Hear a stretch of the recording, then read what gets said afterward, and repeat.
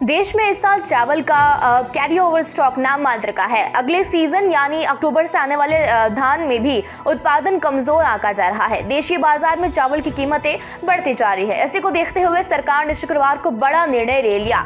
चावल के निर्यात पर शुल्क लगाने का आदेश दे दिया गया है और केंद्र के आदेश के अनुसार अब गैर बासमती चावल के निर्यात पर बीस प्रतिशत एक्सपोर्ट ड्यूटी लागू होगी। तत्काल प्रभाव से यह आदेश लागू कर दिया गया है। बासमती और भाप दिए गए, यानी प्री बॉइल्ड चावल को निर्यात शुल्क से मुक्त रखा गया है।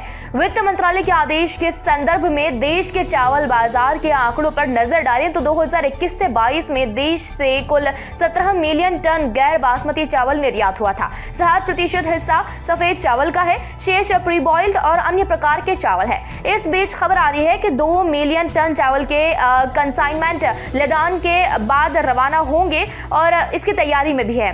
साथ ही यहाँ पर कंसाइनमेंट भी अब एक्सपोर्ट ड्यूटी की जद में आ जाएगा। भारत दुनिया का सबसे बड़ा चावल निर्यातक बनकर उभरा है। 2021 से 22 में कुल 9.6 बिलियन डॉलर की कमाई चावल निर्यात से हुई है। इस बीच अरब देशों से बासमती की अच्छी मांग बनी हुई है, जबकि अफ्रीका और एशियाई देशों से भारतीय गैर बासमती चावल की मांग निकल रही है।